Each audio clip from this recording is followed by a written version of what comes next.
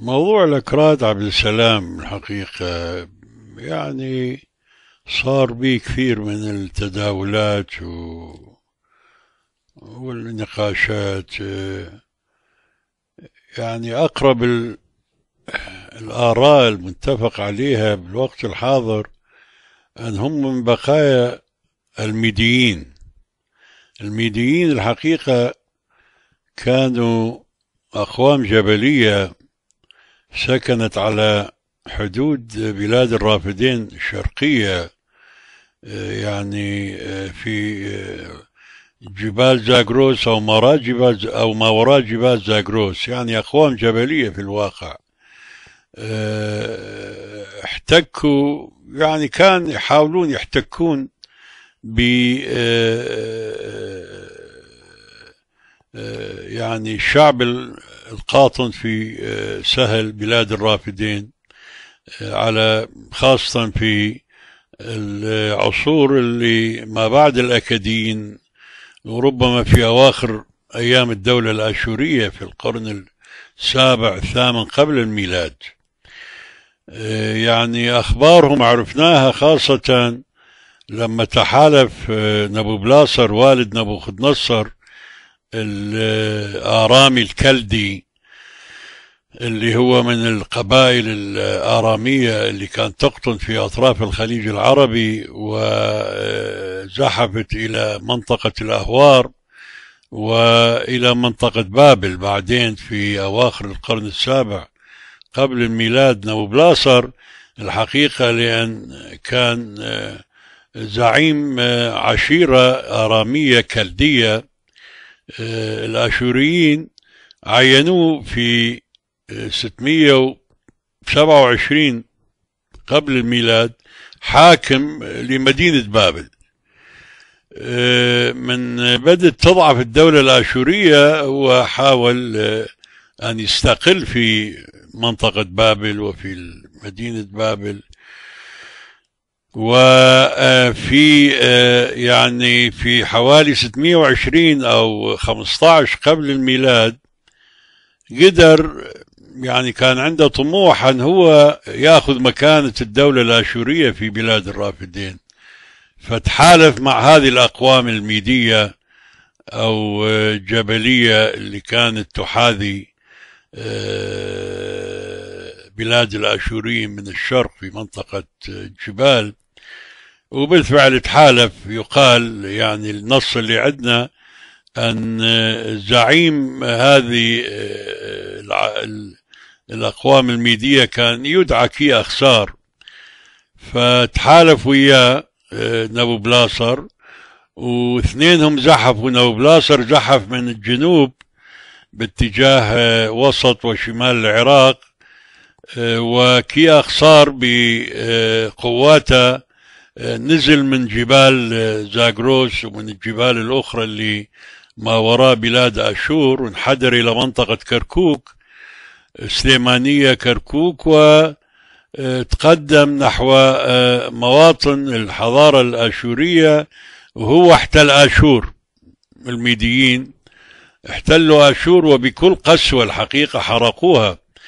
بينما نبو بلاصر تقدم يعني الميديين دخلوا اشور 615 قبل نبو بلاصر نبو بلاصر متأخر دخل حاصر نينوى في 612 بالحقيقة. بس حاول أن يتعامل مع الاشوريين أبناء عمومته يعني اثنينهم شعب سامي عربي قديم. فما حاول يكون كالغزاة الهمجيين. لكن آخر ملوك نينوى الحقيقة ما راد يستسلم فحرق قصره الآشوري في مدينة نينوى وسقطت نينوى 612 بينما آشور انحرقت من قبل الميديين قبل هذا. فالميديين الحقيقة بعد أن استقر الأمر لنبو بلاصر وبعد عشر سنوات عند ابنه ولي عهد نبوخذ نصر توفى صعد إلى العرش مكان نبوخذ نصر. وتحكي لنا النصوص التاريخية البابلية البابلية الحديثة يعني الكلدية أن نبوخذ نصر قام يعني بحركات عسكرية جريئة جدا للشمال وللغرب وحاول يبعد الميديين.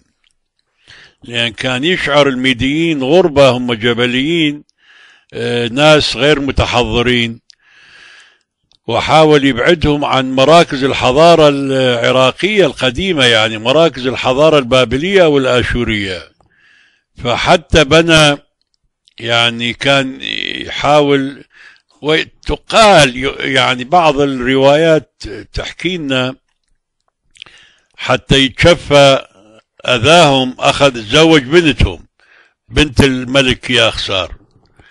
وأسكن بابل ويقال هو لأن هي كانت تسكن منطقة جبلية مع عشيرة أهله في منطقة جبلية شرق العراق فالأسطورة أو الأقاويل تذكر أن هو آه، لأن كانت ضاقت في وسط العراق البسط السهل المنبسط فيقال شيد لها حديقة آه، معلقة أو أو بالكونات أو تراسات أو ما يدعوها المؤرخين آه، الكلاسيكيين اليونانيين والرومان بجناين بابل المعلقة. هي لأجل هذه الزوجة الميدية.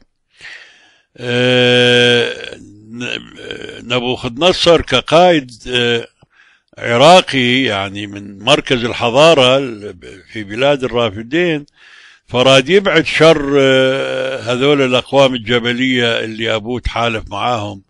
فعندنا دليل مادي بنائي شيد سور. يعني السور بين دجلة والفرات آه، يعني بين أوبس شمال آه، المدائن آه، يعني قرب مدينة بغداد. يبدأ من قرب مدينة من منطقة الآن نسميها خضر الياس وإلى الفرات إلى مدينة إلى مدينة على الفرات سماه السور المادي. يعني يذكر بكتابات نبوخذ شيدت هذا السور لأمنع زحف الأقوام الجبلية المادية أن آه، آه، في وقت من الأوقات تدخل إلى بابل. هذول الأقوام الحقيقة بقت آه، أخرج نبوخذ نصر من بلاد الرافد يعني من من سهل نينوى أو من بلاد آشور ودفعها إلى مواطنها الأسكر الأصلية في المناطق الجبلية. يعني آه، هذول آه، الماديين الحقيقة آه، ما هم تطوروا إلى إلى الأقوام الفارسية أو الساسانية. يعني أقوام أخرى من وسط آسيا. هي اللي زحفت إلى غرب آسيا وجدت إيران بس هذول الأقوام ربما يعني بلغتهم وبثقافتهم المحدودة استمروا ساكنين في المنطقة الجبلية المحاذية للسهول الشمالية للعراق الحقيقة.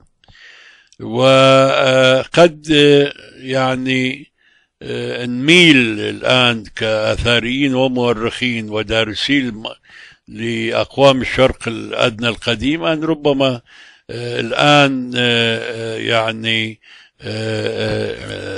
أحفاد هذول الميديين هم يكونوا سكنة الجبال من الأكراج. هذا أقرب السلام يعني هذا أقرب الآراء اللي إحنا نملكها الآن. لا أشورية كانت أربايل وهي مد... هي عاصمة هي مدينة مدينة الآلهة الأربعة الآشورية الحقيقة. أربخة أربخة آشورية أيضا. الاسم آشوري وال ولا لا علاقة لها بال يعني أسماء هذه المدن والأماكن يعني لا لا علاقة بال لا بالحضارة لا بالأقوام المادية ولا باللغة المادية. يعني يعني أقرب ما تكون هذه الأسماء إلى الآرامية. الآراميين بعدين استوطنوا آه، في مواطن الآشوريين الحقيقة وعطوا آه، أسماء آرامية لكثير من هذه الأماكن اللي في دهوك آه، في منطقة أربيل في سليمانية في في كركوك أقصد. فالأكراد الحقيقة ما تركوا لنا لغة واضحة ولا تركوا لنا إرث حضاري واضح بالحقيقة.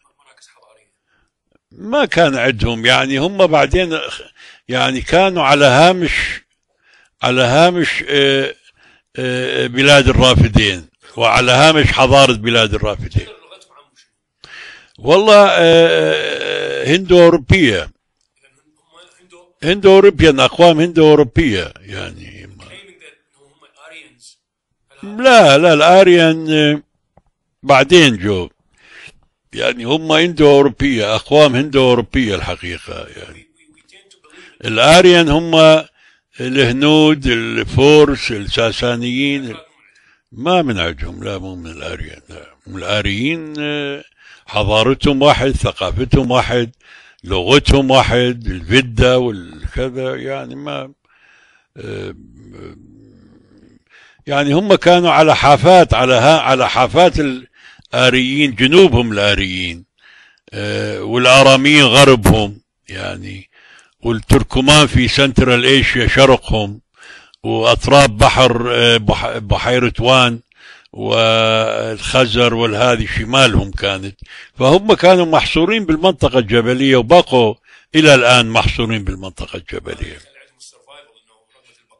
قدروا لأن لأن هم isolated societies يعني minority بقوا وتكاثروا يعني ومن اجى الإسلام طبعا اقتحم مواطنهم واغلبهم اعتنقوا الاسلام.